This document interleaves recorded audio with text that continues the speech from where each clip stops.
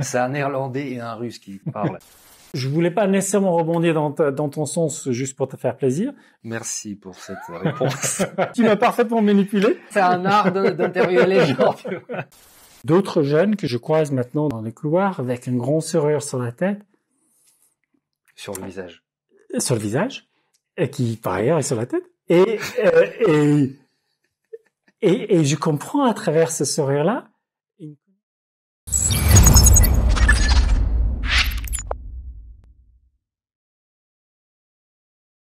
bon, t'es ready Ready.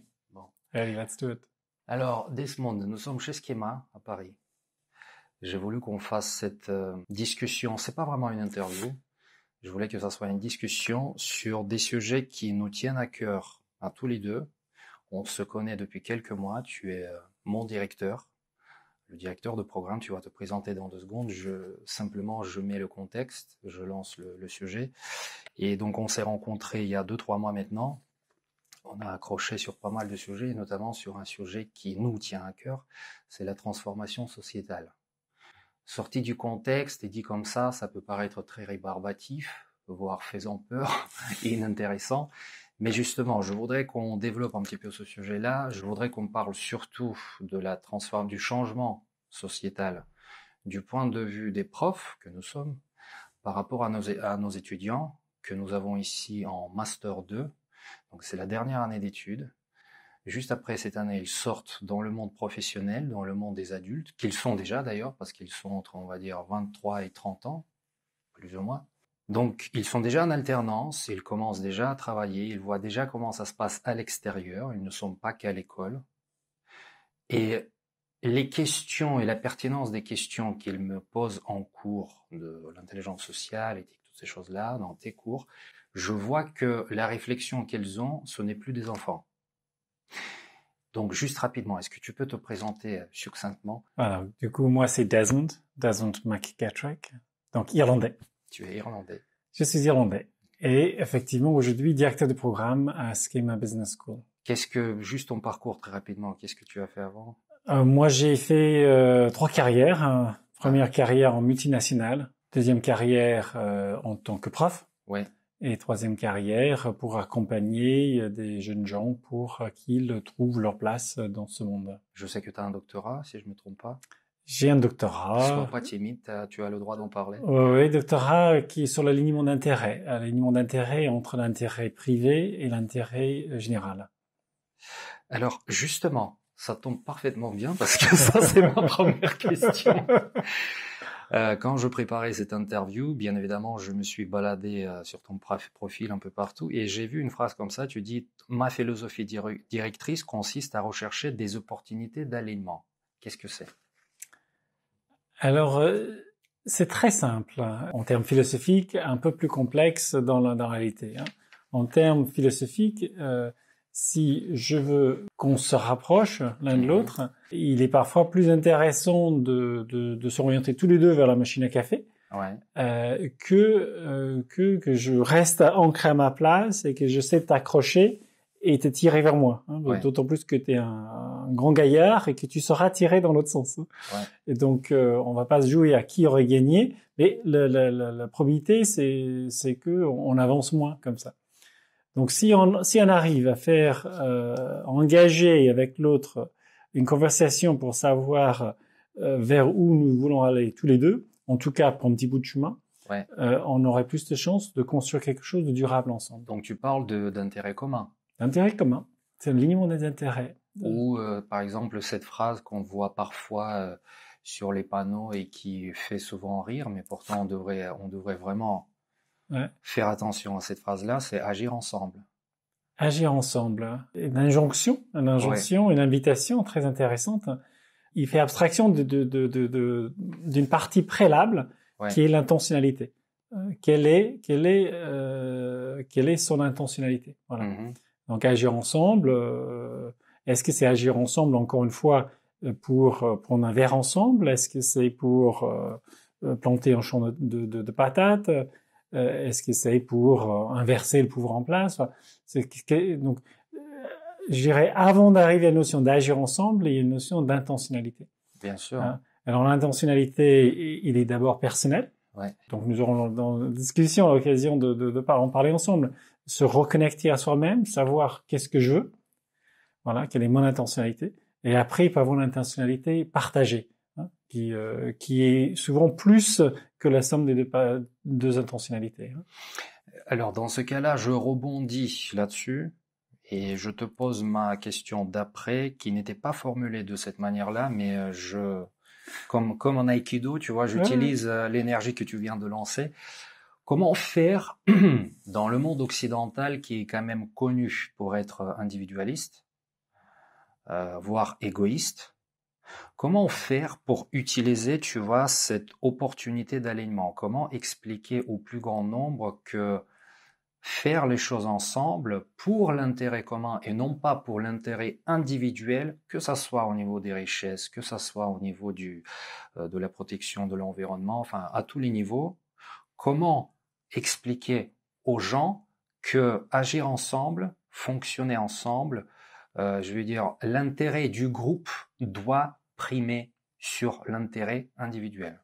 Alors formulé comme ça, euh, j'entends presque euh, presque la voix euh, de mon fils qui dirait mais le, communisme a échoué, on n'a pas besoin de faire revenir le, communisme. Donc non, je, je pense qu'il faut il faut apprendre de nouvelles choses, soi-même et aux, autres, de la même manière que nous avons tous appris à lire écrire, à lire un texte.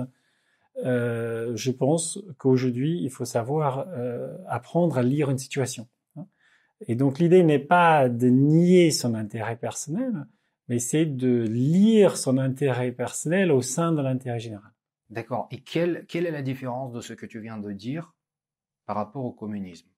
Parce que ça, c'est une objection que je rencontre assez souvent.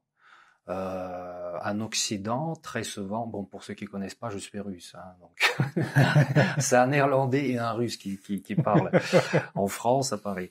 Euh, je veux dire, assez souvent quand je parle, par exemple, d'intérêt général ou les idées que j'ai exposées dans mon premier livre, on me dit ça c'est le communisme, mais ça n'a rien à voir avec le communisme puisque j'en sors, j'y suis né, j'y ai vécu, je sais ce que c'est, donc je suis pas là pour promouvoir le communisme. Mais pourquoi il y a ce biais cognitif dès que les gens entendent le, par exemple, l'intérêt de groupe, tout de suite c'est classé côté rouge. Pourquoi? On est câblé de deux manières. On est câblé pour euh, survivre.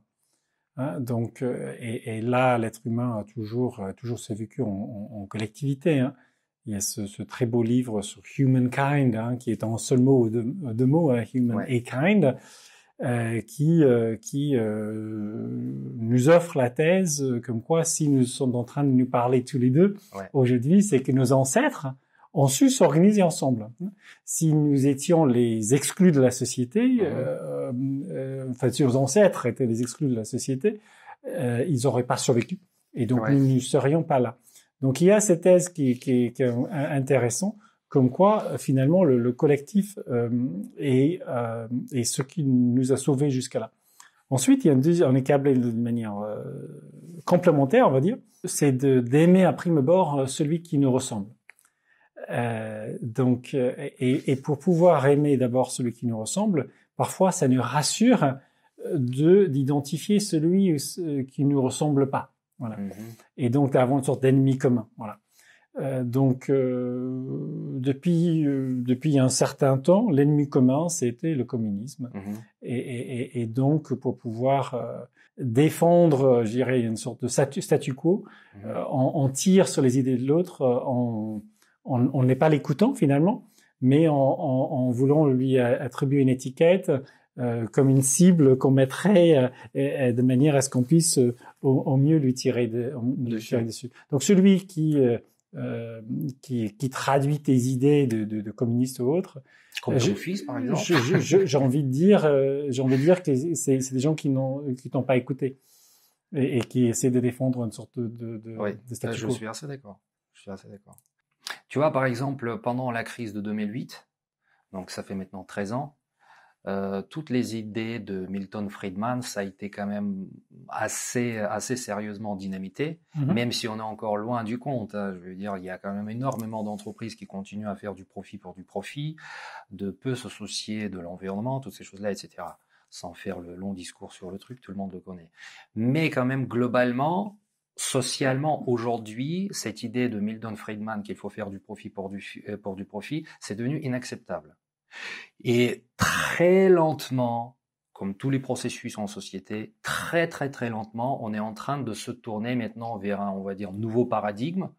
Je ne sais pas si le terme est bon, mais euh, on, essaie maintenant de trouver euh, euh, des échappatoires pour justement se tourner davantage vers ce fameux intérêt commun, c'est-à-dire produire de manière propre, avoir du sens. Là, par exemple, tu vois, la phrase maintenant qui circule beaucoup partout, euh, la dernière génération veut s'investir dans des organisations qui permettent le bon sens au, euh, qui, pardon, qui mettent le bon sens au centre de leur action. C'est-à-dire que les jeunes d'aujourd'hui, notamment ceux que nous avons en face de nous là ici à l'école, euh, ils ne veulent plus aller faire du fric pour du fric. Ils veulent travailler pour une cause, ils veulent euh, défendre des idées, etc. Pas tous. Je suis pas en train de dire que cette génération-là, elle est parfaite, elle est mieux que nous, etc. Mais en tout cas, il y a un, il y a un mouvement, il y a un élan euh, dans cette direction-là. Ma question, j'arrive un peu de loin, mais il faut toujours poser le contexte, ça c'est important, surtout dans mes questions, tu me connais. euh, ne crois-tu pas que des gens comme toi et moi, qui sommes passionnés par ce changement sociétal, qui y croyons dur comme fer, qui faisons tout dans cette euh, dans cette direction-là. Tu vas parler tout à l'heure de Atmos justement. Euh, bon, moi j'ai écrit un livre, je fais mes vidéos, j'enseigne et je dis toujours à mes étudiants n'oubliez pas que la société est composée de chacun de vous, sans exception.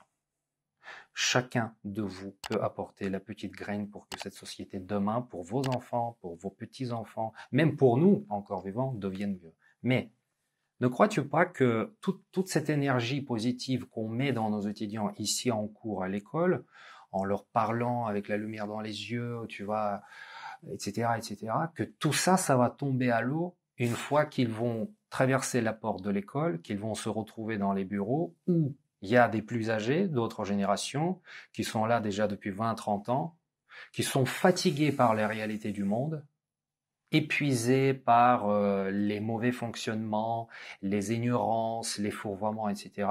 Et finalement, que toute cette énergie qu'on leur transmet, elle va s'évaporer en l'espace de quelques mois. Oui, j'ai envie de dire euh, que ça peut s'évaporer avant même de, de franchir le seuil de l'école certains, certains se refusent euh, l'idée, euh, entre guillemets, d'un de, de, monde dans lequel, euh, un monde vivable, ils se refusent l'idée d'un monde vivable avant même de quitter l'école, puisque, puisque finalement, ce, ce propagande euh, ne s'arrête pas à la frontière de l'école. Hein euh, cette propagande est sur leurs euh, outils euh, qu'ils ont en permanence sur euh, sur la table ou dans leur poche, au, meilleur des cas, dans tout ce qu'ils lisent sur sur l'internet, sur sur les conversations qu'ils ont eues, etc. Donc le, le, danger vient vient vient de très très loin. Je pense qu'il faut ni surestimer ni sous-estimer notre influence en tant que en tant que en tant que prof. Alors j'aurais adoré assister à tes cours. Hein. Je, les, tes étudiants te qualifient d'un blessing. Enfin, c'est, c'est, c'est presque gênant pour l'ego d'entendre euh, en, quoi ils, parlent en bien de toi. Euh, euh, et euh, donc, euh, donc il y a une influence certaine, en tout cas, comme tu dis, sur l'instant. Hein. Euh, ensuite, je pense pas qu'il faut surestimer non plus son influence, parce que finalement, ce que nous voulons, c'est les aider, les aider à trouver leur propre repère. Hein. Et encore une fois, pour moi, le propre repère, c'est une connexion à soi qu'est-ce que je pense moi, qu'est-ce que je ressens moi, une relation aux autres, qu'est-ce, comment est-ce que je peux interagir avec l'autre de manière à ce que je l'entends, est-ce que est-ce qu'il y a quelque chose qui se construit? Où mhm. je, je sais pas tout avant de commencer mhm. et ensuite une, une, interaction avec le monde, la nature, le système, etc. Où j'identifie euh, comment je peux trouver ma place et comment je peux influencer le tout. Mhm. Donc, euh, en travaillant sur ces trois axes-là, euh, je, je, pense qu'on les, on crée un cadre où ils peuvent avoir quelque chose qui dure dans le temps. Et enfin, un peu comme un accountability body, si en quittant la salle de classe, ils font la promesse à un voisin ou une voisine, ou au mieux, euh, idéalement, à 4-5 personnes qui restent ensemble dans le temps pour, pour se tenir au courant de leur progression, je pense que dans ce cas-là, euh, c'est pas qu'ils vont rester fidèles à ce qu'on leur a enseigné, ils vont rester fidèles à la promesse euh, faite à eux-mêmes. D'accord.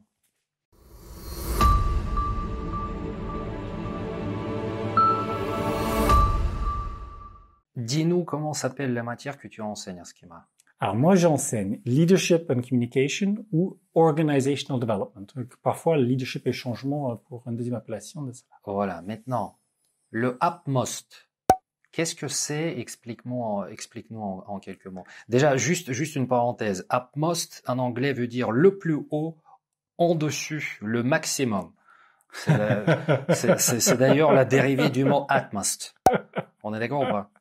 Donc c'est euh, effectivement c'est une forme d'aspiration hein, et c'est une aspiration au plus haut. Hein. Une aspiration au plus haut, c'est également euh, un acronyme où le PM le PM était l'ancrage, euh, je dirais professionnel pour moi, le project management, hein, puisque les les plus de 200 étudiants que j'encadre sont destinés à des carrières en project management. Et du coup, encadrant ce PM, il y a le U, using, hein, mettre en œuvre, et le OST, on societal transformation. On societal, using project management on societal transformation. Using project management on societal transformation. Et l'idée, c'est d'explorer en quoi ce que j'apprends à l'école et ce que je mets en œuvre en entreprise peut me permettre d'être bien dans ma peau, bien dans mon job et bien dans le monde. D'accord. Et le système U, c'est quoi en quelques mots? Alors la théorie U, la théorie U, euh, venant de d'Otto Scharmer à MIT, qui lui-même s'appuie sur des, des, travaux intérieurs. C'est un cadre théorique, un ensemble de pratiques pour aller de là où on est à là où on, on, doit être mhm. en situation euh, d'incertitude. D'accord. Dans le monde incertain. Dans un monde incertain. Euh, ça commence par l'intentionnalité, Ensuite, euh, on descend la courbe euh, lettre U avec une phase d'observation, hein, qui est souvent la partie euh, manquante euh, de, de, project management. Ensuite, il y a la notion de presencing, de laisser émerger euh, un choix. Et ensuite, on, se raccroche à des notions de project management classique, notamment le, méthode agile. On, avance avec du prototypage, en mettant un pied devant l'autre, et des retours d'expérience, ce qu'on appelle parfois les test and learn, pour ensuite euh, arriver à une sorte de finalité. Alors il y a deux, si on devait distinguer entre guillemets le project management 1.0 euh, qui est pratiqué aujourd'hui avec le project management 2.0, je dirais que le project management 1.0 est extraordinairement efficace pour nous emmener d'un point A vers un point B, ouais. hein, hein, que le point A soit la Terre euh, au début d'une décennie et, et, le point B sur la Lune à la fin de la décennie, hein, on le fait très bien. Mm-hmm. euh, le Project Management 2.0 laisse émerger un point C. D'accord. Un point C. Et c'est ce point C qui nous manque jusque là, puisque pour le moment, on essaie d'aller de là où on est, là où on sait vouloir, on, on sait dire où on veut venir, euh, ce qui nous manque, c'est de laisser émerger de nouveaux imaginaires mmh. euh, euh, pour pour trouver des, des, solutions sur notre dimension. Pour reprendre un peu la, la phrase et reformer la phrase euh, très connue de d'Einstein, on ne solutionne pas un problème avec le même niveau de raisonnement avec lequel on l'a créé. Exactement. D'accord. Et euh, comment parce que ça peut peut-être paraître rébarbatif, expliquer comme ça, tu vois, sur les doigts. Euh, comment le perçoivent tout ça les étudiants justement de Master 2 Comment, euh, quels sont les retours? Est-ce qu'ils comprennent vraiment que c'est quelque chose de fonctionnel, viable, intéressant, utile, ou est-ce que ça leur rentre là et sort là? Alors moi j'ai euh, j'ai des retours, je dirais euh, articulés mmh. sur le Master 1. Ouais. Euh, et après, on peut parler des, de mes intuitions, premiers éléments de réponse sur le Master 2 qui viennent de, de commencer. Sur le Master 1, on a commencé en janvier jusqu'au mois d'avril ouais. sur 13 sessions de Organizational Development, donc leadership et changement, changement organisationnel. Et on a commencé avec cette fameuse intentionnalité. Hein, euh, on a suivi toute la, la courbe de la, de, de la U, euh, l'observation, etc. Et leur réponse était assez étonnante. 52%, donc plus d'un sur deux, a dit euh, que ça leur a changé la vie. Ça ah. leur a changé la vie. Donc, euh, et, et, et, ce que je dis à mes étudiants maintenant en, en, en master 2, c'est que si j'avais à, à, voter ce jour-là, euh, et, et, sans doute à tort, j'ai pas voté ce jour-là, mais si j'avais voté ce jour-là, j'aurais voté pareil. Euh, le, le chemin, euh, le cheminement que j'ai fait avec leur côté m'a changé la vie. Et ensuite, deuxième critère, euh, c'est dire est-ce que ça m'a changé la vie en une fois et on n'en parle plus, ce qui franchement ça aurait été déjà pas mal. Euh, euh, la deuxième question euh, c'était euh, c'était la transférabilité de, de ce qu'ils avaient appris des pratiques. Et ils étaient 97%, 97% à dire que les pratiques apprises étaient transférables dans leur vie personnelle et, et, et professionnelle et ils savaient articuler dans une question subsidiaire les premières pratiques qu'ils allaient, euh, qu'ils voulaient euh, garder pour la suite. D'accord. Les 97%, ceux qui ont dit ça, c'était le M2 ou M1 M1. M1. Alors, c'est, quoi, c'est quoi la moyenne d'âge là dans le M1 Oh, 20, 20, 23, 25 ans. 23, 25 ans, c'est un, petit peu plus jeune, un petit peu plus jeune que le, peut-être 20, peut-être 21 à 24 ans, on va dire, un petit peu plus jeune que le, que le M2. Forcément, c'est, c'est, c'est, c'est plus 6, le, le M2. Et, et, le premier retour que je vais avec le M2, c'est subtil. Mais je vais être quand même assez, assez, assez, assez brut là-dessus. En, en, me proposant le poste de directeur de programme, on a laissé entendre euh, que j'allais passer un sale moment, hein, euh, que ça allait être très compliqué d'interagir avec autant de personnes euh, que, que l'on ne voit qu'une semaine par mois et, et qui finalement, euh, finalement n'ont que faire de leur temps à l'école, puisque maintenant ils sont, euh, comme, comme tu disais, ils ont déjà un pied dans l'entreprise euh, et, et, leur tête, et, voilà. Et, moi, ce que je vois, ce que je vois, c'est des, des, jeunes gens qui sont passionnés par tes cours, mais pas que par les cours des autres, euh, qui se sont, qui, qui témoignent d'une certaine vitalité une énergie les uns avec les autres, voilà, qui veillent les uns avec les, sur les autres, voilà, et, et qui ont envie de croire, envie d'y croire. Je pense qu'on en est là, ils ont envie d'y croire, on va pas dire que c'est gagné, euh, mais il y a déjà l'intentionnalité.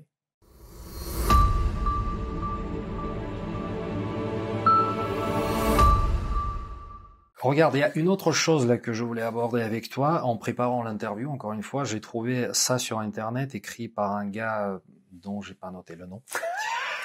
je vais peut-être le, si je le retrouve après, je vais, je vais mettre dans le, en, dessous de la vidéo. Il dit la transformation digitale, donc celle qu'on a eue avant, était technico-culturelle. D'accord? Alors que la transformation sociétale, celle d'aujourd'hui, dont on parle en l'occurrence avec toi, est socio-cognitive. Oui, c'est très intéressant. J'explique. Puisqu'elle modifie le rapport à l'environnement, prendre soin de l'environnement et des autres. Pour développer ces capacités socio-cognitives, ça incombe au gouvernement et aux entreprises. Et moi, en fait, c'est là que j'ai sursauté sur ma chaise quand j'ai lu ça. Je me suis dit, c'est pas viable. Les gouvernements et les entreprises, la seule chose qu'ils peuvent faire, ils peuvent imposer le changement. Je parle de manière très schématique et extrêmement simpliste. Bien sûr que le monde est beaucoup plus complexe et multiple que ça. Mais euh, donc, ils ne peuvent que imposer. Donc, ma question, ne crois-tu pas que ce changement socio-cognitif, cognitif plutôt, ne devrait pas, ne devrait-il pas plutôt être euh, ramené dans les têtes par les écoles et non pas par les entreprises, c'est-à-dire par la contrainte gouvernementale législative ou par la contrainte d'affaires en entreprise. Soit tu t'associes à la culture d'entreprise, soit tu, tu en fais partie, euh, tu en fais pas partie. Tandis que si on érige en fait ce truc socio-cognitif au rang de la culture justement, c'est-à-dire que ça devient un automatisme chez les gens, non pas une contrainte, mais un automatisme. Et ça, j'ai l'impression que cet automatisme-là, il ne s'acquiert que pendant la jeunesse donc à l'école. Et ensuite, lorsqu'ils arrivent, c'est exactement la première partie de l'interview, là, quand je t'ai posé la question en disant l'énergie qu'on transmet aux jeunes, est-ce qu'ils risquent pas de la perdre une fois qu'ils sont dans le monde d'adultes Donc, s'ils acquièrent à école, si on leur transmet suffisamment, tu vois, ce changement, cet élan, euh, la, réflexion nécessaire, et que ça devient vraiment un changement socio-cognitif dans leur tête, c'est justement cette nouvelle génération-là qui pourrait réellement apporter ça, je veux dire, cette, cette mise en place dans la vie d'adulte.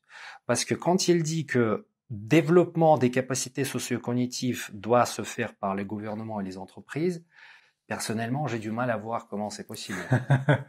Ben, moi, j'ai sursauté intérieurement au même mot. Hein. J'ai suivi assez bien la, la phrase jusqu'à ce que tu dises que ça l'a incombé euh, bah oui. aux entreprises et, et, et au gouvernement.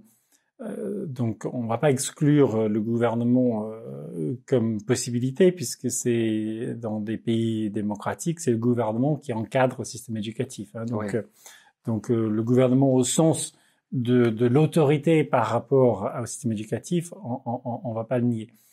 Euh, par contre, je suis là où je suis 100% d'accord avec toi, c'est que l'école a pleinement son rôle à jouer mhm. euh, dans, dans, dans l'accompagnement de ce changement. Alors c'est un débat hein, que nous avons euh, ici, ici à Schema et, et, et pour le coup euh, j'exprime un point de vue personnel et pas institutionnel pour dire, euh, parce que la question se pose, c'est que partir du savoir-faire vers le savoir-être, c'est de se mêler de ce qui ne nous concerne pas. Hein, parce, qu'on est, parce que quand on parle d'automatisme, on, on, parle de la notion de brainwashing, ouais. Hein, et donc on est sur un, un, espace très très dangereux. Moi, je, je dirais peut-être au contraire, ne, ne, ne, créer pas un, ne pas créer un contexte où chacun peut construire son savoir-être euh, tout seul, c'est le laisser à la merci de ces loups, euh, ces loups qui attendent à la porte de l'école, que ce soit euh, des entreprises, des publicitaires et, tout est conti. Moi, je pense que, en tout cas, l'approche que j'aborde, c'est de créer un espace où euh, un espace de confiance où, les, où chacun peut euh, se développer, développer à la fois un savoir-faire et un savoir-être, euh, trouver son ancrage personnel et, et, et, un accompagnement euh, choisi pour aller au-delà de l'école, et de cette manière en, engager de manière centrée, ancrée, euh, vis-à-vis de d'autres parties prenantes en, en, sortant. Évidemment, les, les, les entreprises influencent. Hein. Naturellement, c'est, bien c'est, juste que c'est juste qu'on n'est pas, on est, on est beaucoup à pas être persuadé euh, qu'ils ils influencent dans le sens de l'intérêt de la personne. Hein. Ouais. Hein. Donc, euh, on a tous vécu l'industrie du tabac, euh, mais également de manière plus plus ambiguë l'industrie des, des sodas, des boissons sucrées, mmh. etc. Euh, comment les, ces, ces, entreprises euh, influencent nos choix. Hein euh, et l'industrie maintenant du, du, du, téléphone portatif, etc. Euh, comment ça nous influence euh, de manière socio-cognitive? Hein, maintenant, sur les téléphones portables, on est censé, on, on, on collecte sur la montre euh, quand est-ce qu'on s'endort, quand est-ce qu'on se réveille, on est censé caler ses horaires sur sur une sorte de, de, de bien-être supposé. Et tout ça tout ça collecté euh, collecté par d'autres. Donc les entreprises influencent bien. Est-ce qu'il faut laisser les jeunes seuls face aux entreprises? Je pense que là l'éducation a son rôle à jouer avant avant qu'ils échappent avant qu'ils quittent euh, l'école d'accord je rebondis encore une fois est-ce que d'après toi comme ça à vue d'œil les écoles d'aujourd'hui font suffisamment d'accent sur les soft skills dans les programmes? Alors, les soft skills, c'est un espace aussi très très subtil. Euh, J'entends encore. Euh... Je veux dire, est-ce qu'on, excuse-moi, est-ce qu'on se concentre pas trop, justement, dans les écoles de commerce de oui. haut niveau, est-ce qu'on se concentre pas trop sur des, euh, on va dire, des compétences techniques finance, marketing, tu vois, les trucs comme ça. Est-ce qu'on ne devrait pas, justement, si on parle de ce changement sociétal, transformation, toutes ces choses-là, est-ce qu'on ne devrait pas peut-être pas davantage, mais en tout cas suffisamment intégrer les soft skills en parallèle des connaissances techniques, qui sont forcément toujours demandées en entreprise? Ouais, c'est des fois j'ai je, je, me trouve à dire qu'on est embauché pour ces hard skills mm -hmm. et on passe la période d'essai euh, grâce à ces soft skills. Oui, c'est pas voilà. faux. Donc, euh, donc on a besoin des deux. Et moi, je vois euh, en entretien, euh, les candidats souhaitent avoir telle et telle certification à la sortie qui, qui témoigne des, des, des, des, hard skills. Et en même temps, moi, je suis persuadé qu'ils vont se faire manger, enfin, qu'ils vont, comme on disait autrefois, l'opération réussit, mais le patient est mort. Ils vont réussir à rentrer dans l'entreprise, mais ils vont mourir, se mourir à la tâche s'ils n'intègrent pas les, soft skills. Alors, comment les mettre en place C'est très compliqué. C'est très compliqué. Les mettre en place, tu veux dire en école En, en école, en, école. C'est très compliqué. Pourquoi c'est compliqué Pourquoi c'est compliqué? Parce que parce qu'il y a une forte pression de d'intégrer les hard skills dans le programme, dans la, ce qu'on appelle la maquette. Il y a des attendus, euh, même réglementaires, mm-hmm. par rapport à cela. Et, euh, et, finalement, on veut rajouter, et c'est mon choix, rajouter en transversal euh, tout ce cheminement euh, de la théorie U, tout, tout cet mhm. aspect soft skills qu'on voit dans, dans, tes, tes, cours et, et, autres. Dans un monde euh, idéalisé, est-ce que celui qui délivre des hard skills ne délivrerait pas également des soft skills de par sa manière d'être hein? On en est très loin, mais, mais ce serait chouette euh, finalement euh, que les que les profs aussi euh, aient la possibilité d'être bien dans leur peau de prof, euh, bien dans, en adéquation avec leur propre aspiration, qui vivent bien l'interaction avec les étudiants et de par leur, leur manière d'être, qui transmettent finalement une, une, une, une forme de, de, de soft skills. Donc euh, voilà, on marche pas un seul pied, donc il faut il faut les il faut les deux. Tu sais, le truc c'est que je, je en fait c'est une question vraiment à double tranchant parce que euh, premièrement en posant cette question, je n'essaie pas de tirer la couette de mon côté puisque moi j'enseigne les soft skills dans l'intelligence sociale et toutes ces choses. Et ils adorent ça. Et justement, c'est ça, c'est ça que je voulais dire. C'est pour ça que je précise que je tire pas la couette de mon côté. C'est une observation que je mhm. délivre et je sais pas de faire passer le message à la direction de l'école ou ailleurs pour dire que mhm. bon, Premièrement, ils adorent ça. C'est pas moi qui l'ai dit, c'est toi qui l'as dit. Non, c'est eux qui me disent. Voilà, Deuxièmement, il n'y a pas que les étudiants de schéma, parce que je fréquente aussi des étudiants d'ailleurs, qui me disent on n'a pas assez de cours sur les soft skills à l'école et on en voudrait plus. Ce qui me fait tilt déjà depuis quelques années, c'est que c'est les jeunes de à peine 23 ans qui me disent eux-mêmes qu'ils n'ont pas assez de cours de il y a 5-6 ans, quand j'ai à peine commencé à enseigner, il y a un étudiant qui m'a dit, il me dit, comment ça se fait que c'est seulement en Master 2, c'est-à-dire on est au travail demain. Mhm. C'est seulement en Master 2 aujourd'hui qu'on nous a parlé pour la première fois de l'éthique en entreprise. On a passé 5 ans à l'école. Et puis moi j'entends des gens qui ont fait des, des, des écoles d'ingénieurs de, de, très haut niveau et qui disent qu'ils ont eu deux heures, deux heures sur cinq ans d'études sur l'éthique liée à, liée à leur, métier. Donc, euh, j'ai envie de dire, heureusement, heureusement qu'ils ont choisi l'année de plus et qu'ils te croisent sur leur chemin. Pourquoi ça arrive euh, Encore une fois, les, les, hard skills sont valorisés? Parce qu'on pense que ça, que c'est nécessaire. Et les soft skills, euh, du coup, on, on, les rajoute à la fin. Et en plus, on les rajoute parfois à tort. Euh, je m'explique. Parfois, euh, les soft skills se limitent à euh, le marketing de soi, par exemple. Ouais. C'est-à-dire que maintenant que j'ai mes, mes, mes hard skills, il faut que quelqu'un m'achète. Mais pour que je m'achète, je me rends compte que je ne sais pas me vendre. Donc, si j'étais un produit, je me vendrais de quelle manière hein Et qui est intéressant. Mais qui est intéressant sur réserve qu'on se voit pas comme étant seulement un produit. Mm. On a quand même pris, euh, fait une connexion avec soi-même pour savoir qui on est et comment on a envie de vivre sa vie, et voilà. Et du coup, encore une fois, auprès de qui il faut avoir cette cette conversation-là, ce qu'on appelle du targeting en, en marketing. Donc, euh, donc je, je, je, vais, je vais pas le pas le renier.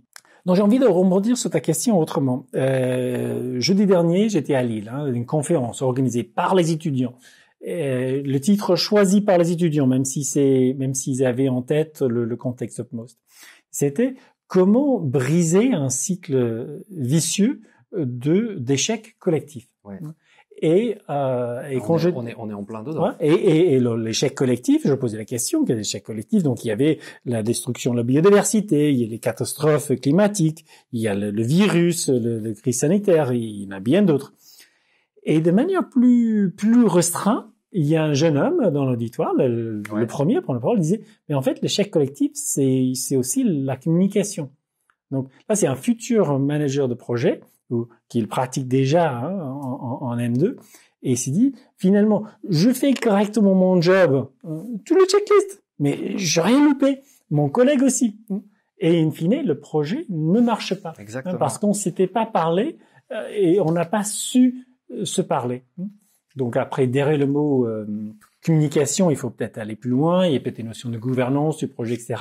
Et, et encore une fois, d'alignement des intérêts. Donc si on si on si on touche pas aux soft skills, si on on va réussir d'aller encore une fois de A à B, alors qu'il fallait aller à C, C peut-être là. Et, et, finalement, si admettons que A c'est là et B c'est là et C c'est là, chaque jour qu'on progresse avec méthode vers B, on s'éloigne de, de la destination euh, finalement euh, préférée. Pourquoi? Parce que on n'a pas su prendre une phase d'intentionnalité. Euh, Qu'est-ce que je veux? Une phase d'observation euh, auprès de qui je peux me renseigner pour finalement laisser sentir euh, d'autres imaginaires et de sentir finalement euh, laisser émerger un, troisième choix ou, de, mm. ou, des choix multiples complémentaires. Donc on fonce. Pour faire vite, on fonce et on fonce dans le mur. J'ai envie d'enfoncer le clou. Le sujet de l'interview, c'est la transformation sociétale. C'est vraiment le truc qui, bon voilà, qui, je veux dire, c'était la base d'intérêt de cette vidéo. Est-ce que la transformation sociétale, elle passe davantage par les connaissances techniques ou par les soft skills? Ah, c'est toujours les deux. C'est toujours les deux. Après, euh, si on dit qu'il faut les deux et qu'il y en a un des deux qui est surreprésenté, hein, donc là où il faudrait euh, doser davantage, il faut un équilibre. C'est côté soft skills. Et, et si on regarde la théorie U, euh, au moment de, de cette prise de décision, de choix, euh, souvent si la vase est déjà pleine, il est difficile de rajouter de l'eau. Mhm. Hein, donc des fois, il faut enlever quelque chose pour mettre d'autres choses. Voilà. Donc je je voulais pas nécessairement rebondir dans, dans ton sens juste pour te faire plaisir, mais si je si je j'applique le raisonnement en t'écoutant pour pour euh, pour compléter une vase qui est déjà pleine, il faudrait sans doute alléger côté hard skills pour compléter côté soft skills. C'est une façon d'aller dans mon sens. Ce que tu viens de dire. Je, je, je l'entends bien. Malgré tout. Bon, ok, merci pour cette réponse. merci, d'avoir été dans mon sens. C'était pas voulu ou, ou, tu m'as parfaitement manipulé. Voilà. Euh, ça, c'est un art d'interviewer les gens.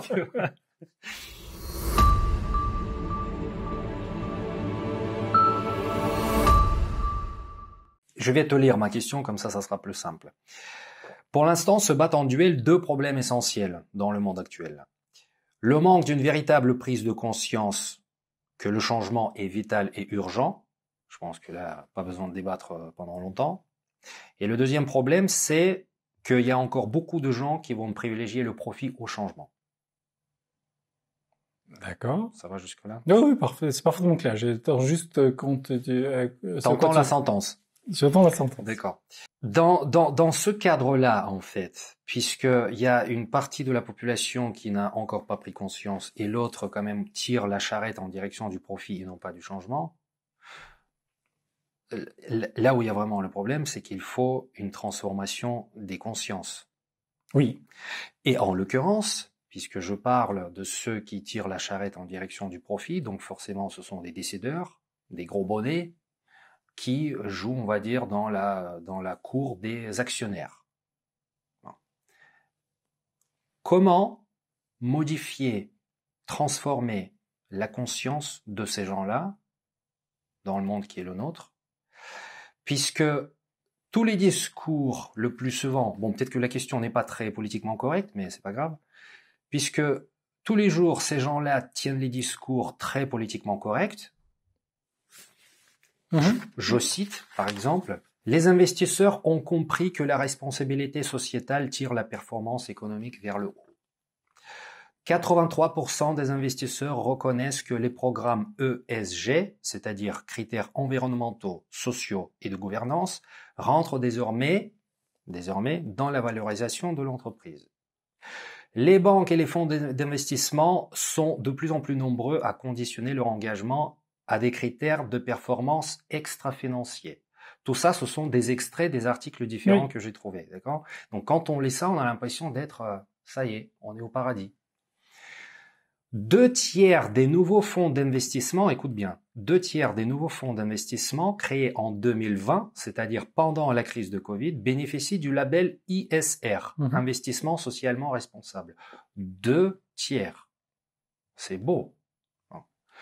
On dit aussi que beaucoup d'entreprises semblent avoir compris que la RSE constitue aujourd'hui un enjeu de performance globale et un avantage compétitif. C'est formidable. Et celle-ci, elle m'a touché en plein cœur les intérêts de toutes les parties prenantes convergent. Je veux dire, question? Je veux dire, quand on est face à un politiquement correct pareil, et quand on voit réellement ce qui se passe, je, ne touche même pas à la corruption, toutes ces choses-là, mais quand on voit simplement comment vraiment les choses tournent, j'ai envie qu'on réfléchisse à voix haute tous les deux. Qu'est-ce qu'on doit faire aujourd'hui pour changer les esprits et pas simplement en, formant les jeunes qui vont arriver et qui pour l'instant n'ont aucun pouvoir parce que c'est pas eux qui vont prendre les décisions. Quoi? Non, j'écoute avec intérêt entre guillemets ton monologue, mais je, me permets d'interrompre de, de, sur sur ce dernier point. C'est une, une, forme de parti pris euh, prise déjà par beaucoup d'étudiants euh, qui est de toute façon je peux rien faire je peux rien faire. C'est pas moi qui ai le pouvoir. C'est justement hein? pour ça que je, je voulais. Et, et, et, et, et, je pense que c'est là qu'il faut, faut déjà, déjà réfléchir, hein, déjà agir. Les, chacun de nous a du pouvoir. Non pas un pouvoir absolu, encore heureux, mais chacun de nous a un, un pouvoir. Et il n'y a pas nécessairement euh, et là je, je cite euh, Otto Scharmer en le reformulant, euh, c'est il n'y a pas le système d'un côté et, et, et, les jeunes de l'autre. Mmh. Il n'y a pas les méchants d'un côté et, et, et les mmh. gentils qui, mmh. qui, qui sortent d'école de l'autre. Euh, chacun a un rôle à jouer. Le, la question du fond, c'est que nous créons tous collectivement des solutions qui, qui n'intéressent personne.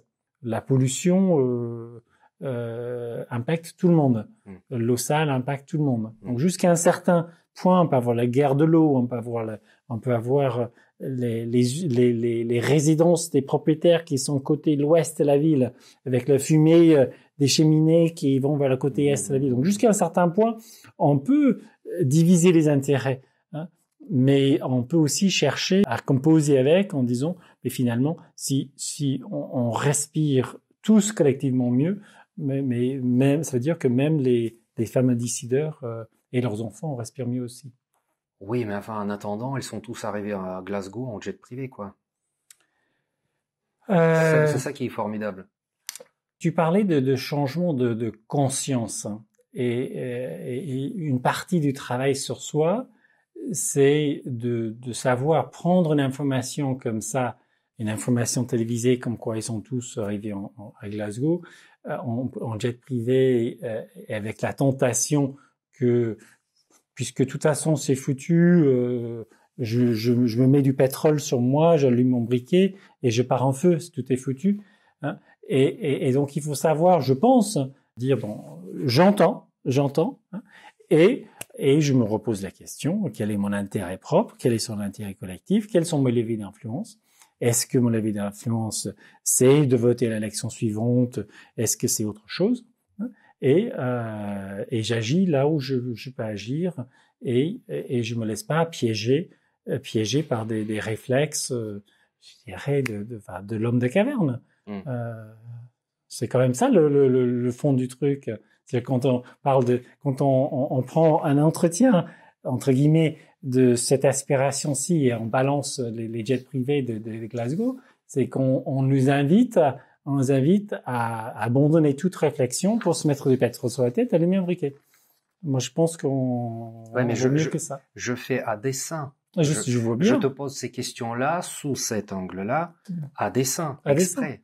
Parce que encore une fois, les étudiants, parfois, tu vois, en cours, ils lèvent la main en disant, messieurs, c'est bien beau ce que vous racontez, mais et donc il faut faire une, comment dire, il faut avoir une souplesse de caractère intellectuel, appelle ça comme tu veux, pour quand même, non pas les manipuler, mais quand même leur faire comprendre que si tout le monde, exactement ce que tu viens de dire là, si tout le monde réfléchit comme vous venez de le faire, autant qu'on boive le dernier, la dernière bouteille de, de, de bon Mais, c'est ce qu'on est en train de faire, c'est qu'on est en train de faire. Il y, en a pour beaucoup de, il y en a pour certains des jeunes et, pas si jeunes, l'idée euh, que vaut mieux boire le dernier bouteille de, de le dernier verre qui Et après moi le déluge. Et après moi le déluge. Si on est moins jeune, c'est, c'est que de toute façon, de toute façon, euh, je peux parier sur le fait que je vais mourir avant le déluge. Et, euh, et si on est euh, si on est plus jeune, on se dit bon, même si le déluge arrive, au moins je, partirai ivre mort et, avec le sourire sur, le visage. Euh, donc euh, donc c'est vraiment c'est des questions effectivement importantes euh, qui sont pas à négliger. Et, et je pense pas que des réponses faciles, style je prends l'auto-vert, ça soit nécessairement la bonne réponse. Mmh.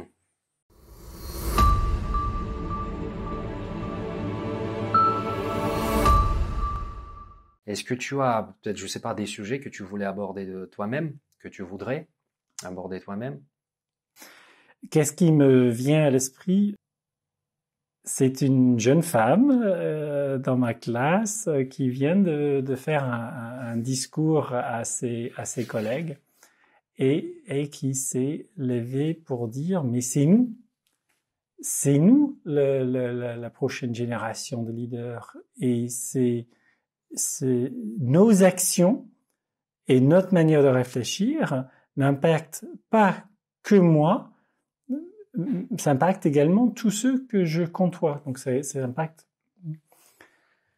n'est-ce pas qualitativement différent d'avoir quelqu'un aussi brillant que, quand on m'a la qui dit c'est c'est c'est c'est vous l'avenir et le jeune qui dit c'est moi l'avenir c'est qualitatif différent que ce soit nous deux qui disent mais vous pouvez influencer, vous influencez en fait, vous influez, euh, que vous laissez chez nous. C'est une jeune qui dit yes we can. yes we are. Yes we are. Yes we are. Oui, oui, yes we are. On, est en train de le faire, qu'on le veuille ou non. Et donc que, que j'assume, assumons cette responsabilité-là je vois les mêmes euh, d'autres jeunes que je, je, je croise maintenant dans, dans, dans, les couloirs avec un grand sourire sur la tête.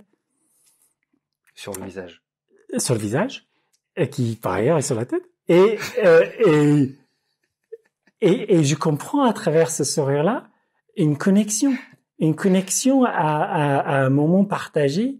On dit mais c'est pas que juste tout est possible, c'est que c'est que tout est. Hmm je suis. la prise de conscience de leur, euh, de leur être individuel et collectif euh, amène, euh, amène un, sourire vis-à-vis de, d'eux-mêmes et, de l'avenir. Je vois un autre garçon qui disait, mais j'avais commencé le cours, c'est Leadership and Communication, avec l'idée que le leadership, on ne pouvait pas l'enseigner. Et, euh, et, je me souviens très bien que j'étais déstabilisé à son commentaire, bien que j'essayais de me maîtriser. Et là, il disait en fin de cours, huit semaines de cours plus tard, mais peut-être douze semaines plus tard, en, en, en, il disait, mais quand je regarde maintenant comment je réfléchis moi et comment nous réfléchissons ensemble, je vois le chemin euh, parcouru. Sur douze semaines, euh, un jeune, des jeunes peuvent voir le chemin parcouru individuellement, ils se voient, ils voient le chemin parcouru collectivement, et ils abordent l'avenir en disant, mais si j'ai su faire ça en douze semaines, que puis-je faire au-delà?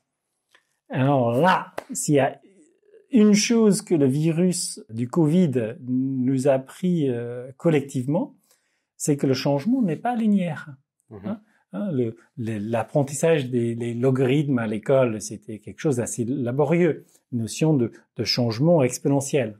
Maintenant, n'importe qui euh, est capable d'expliquer euh, que, euh, que si on passe de seulement 8 cas aujourd'hui à, à 16 cas demain et 32 cas après, après demain que on, va arriver à un changement important.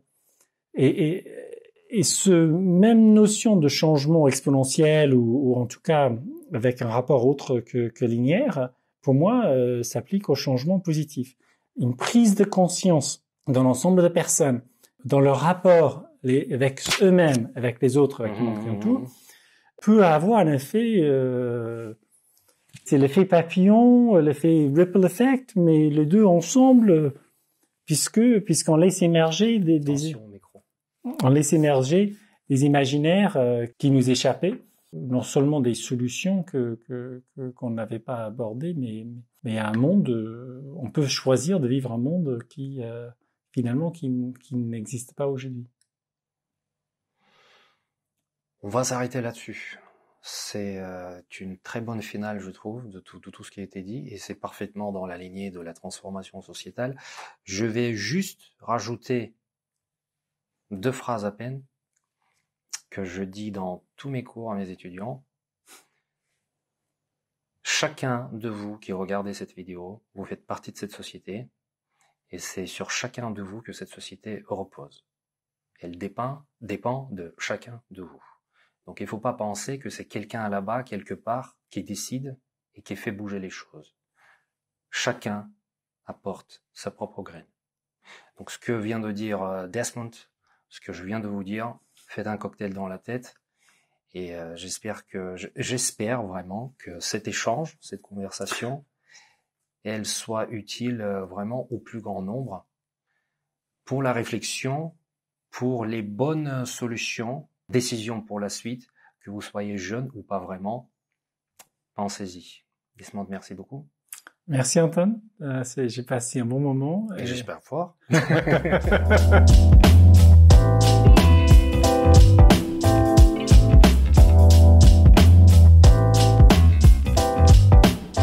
C'est la longueur d'un documentaire Arte.